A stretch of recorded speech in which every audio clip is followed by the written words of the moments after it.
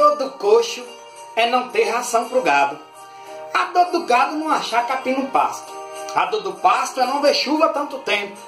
E a dor do tempo, correr junto da morte. A dor da morte é não acabar com os nordestinos. E a dor dos nordestinos é a chuva exagerada. Via logo a desculpa para quem lhe quebrou no lombo, lhe lascou no cucurute 20 quilos de um lajedo, em vez de achatar pra caixa prego o vagabundo que se adeitou no trono e acordou num pau de sebo. A dor do jegue, tadinho, nasceu sem chifre.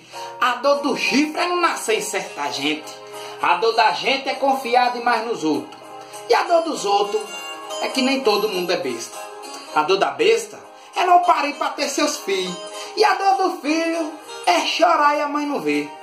Chegando os fins das épocas, vai pegar fogo no mundo. E o pior que os vagabundos tocam música estrangeira, em vez de aproveitar o que é da gente do Nordeste.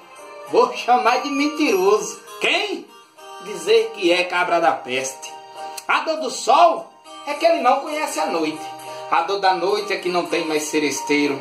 A dor do seresteiro é o medo da polícia. E a dor da polícia é ter ladrão do mundo inteiro.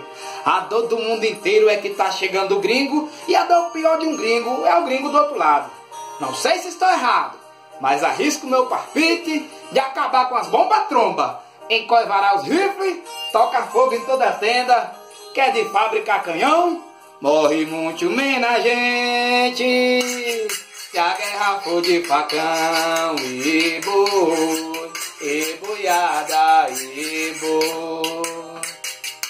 Guerra de facão de Wilson Aragão.